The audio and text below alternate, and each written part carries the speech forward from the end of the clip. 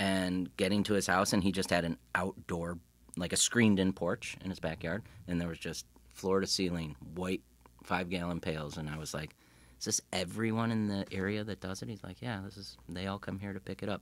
So I took my three, went home. I ended up fermenting them. I think I've told you the story in garbage cans in my father's basement, and that was pretty cool. Like that was. There is not much difference between doing that and making wine in a proper wine facility. Right. So Because there, there are not a million ways to skin a cat when it comes to fermenting grapes. right. So that was the whole thing. I mean, that, that's that's was the thing in Bordeaux or France, garagistes. Like, but the reality is fermentation happens. Happens, yeah. Right. Yeah.